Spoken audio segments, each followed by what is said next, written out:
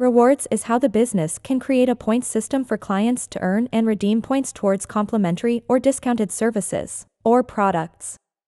To set up rewards, go to the navigation menu, then Setup, then Set up Rewards. Enter a reward name. Confirm the active checkbox is enabled. Click plus New. First, set up the reward award rules. Award points is the number of points to award for every amount spent on services, retail or gifts or individual services, retail or gifts or each completed ticket or each referred client.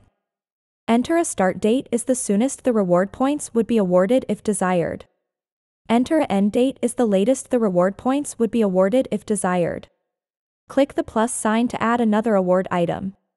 Click minus sign to remove an award item. Setup Redeem Rules identifies how the client can redeem their points for complimentary or discounted items. First, enter a redeem name and include the amount or percent off in the name. Enter redeem points are the number of points required to use a reward. Selected discount is the amount or percent to deduct from the ticket total. Select on one item either service or retail item.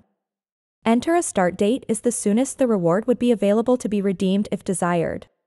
Enter an end date is the latest the reward would be available to be redeemed if desired. Click the plus sign to add another redeem item. Click the minus sign to remove a redeem item. Click Save when completed.